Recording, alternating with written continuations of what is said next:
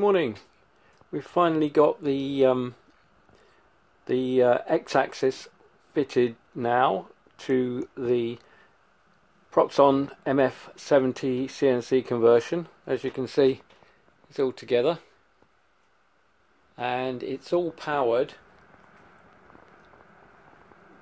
by this little Arduino with a CNC shield on top here and you've got three stepper motors for the XYZ axis.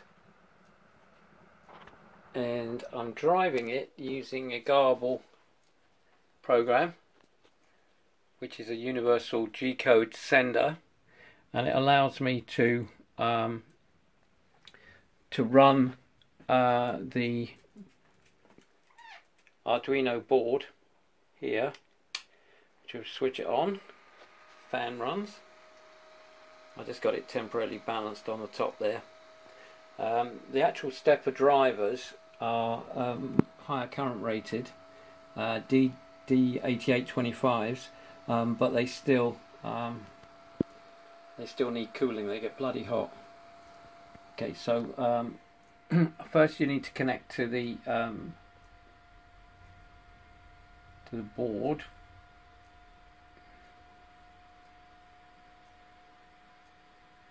just start that again. And you hear the click of the stepper motors just to prove it's working. And over here we got manual control XYZ so we'll just run that a couple of times.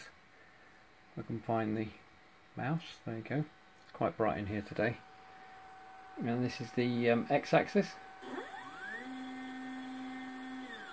One way. And another way the y-axis one way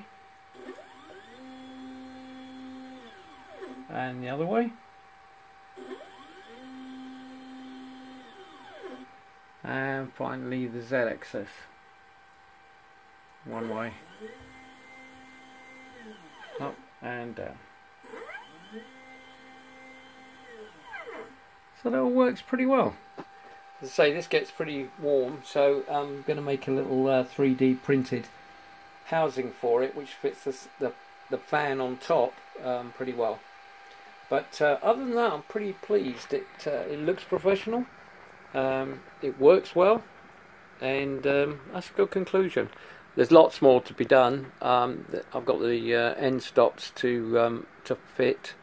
Uh, they go on on these little um, this little blue bracket in the middle there and on the ends of the tabs here just inside here and over here. So um, they've got to be fitted. I'm going to have a, an emergency stop as well. Um, but apart from that we're, we're, we're on the right direction anyway. Okay more about it later